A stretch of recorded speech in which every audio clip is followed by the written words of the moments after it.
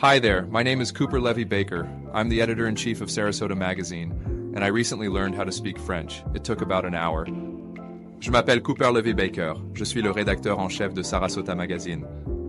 In that same hour, I also happened to master Arabic and Portuguese. Ismi Cooper Levey-Baker. Ana رئيس tahrir fi مجلة Sarasota.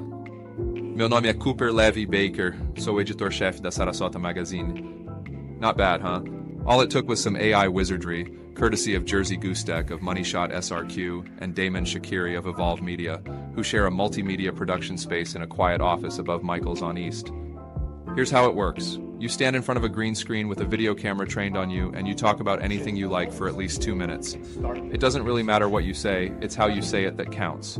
The goal is to create an accurate record of how your voice sounds and how your face and body move when you talk. I had to record my video twice because apparently I wave my hands like a maniac when the camera starts rolling, and that can cause problems when the footage is fed into the AI video tool HeyGen, the next step in the process.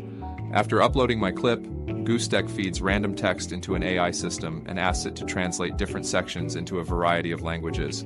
We wait a few minutes and then, voila, my digital avatar is ready and he, meaning me, begins to speak. Watching myself talk and hearing words I never said coming out of my mouth is more than a little unnerving. My brain can't help but dwell on worst case scenarios. What if someone used this technology to make me say something I abhor? but I can also understand the appeal. Gustek is using HeyGen with a number of clients who need short videos of them speaking to share with customers and on social media. The idea is attractive to busy executives who can come to the studio just once and then create new videos in the future simply by sharing text. Think of a realtor who might freeze up on camera and doesn't know what to say. Now that person can create endless video clips of themselves without the stress and anxiety that comes with filming. I'm essentially a Luddite, and I remain skeptical about how the flurry of new AI technology we're seeing now is going to affect art and creativity, but I'm also curious about what it can do, which is why I asked Gustek to help me make this video. Will my digital avatar one day supplant the real me?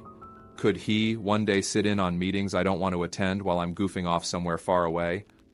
Hmm, maybe I'm starting to see the upside of this AI thing. Thank you for your time and I hope you enjoyed our presentation. I trust that you or members of your team will be inspired by the options MoneyShot is presenting. Please do not hesitate to call me and ask any questions. And no, I'm not an avatar. Or am I?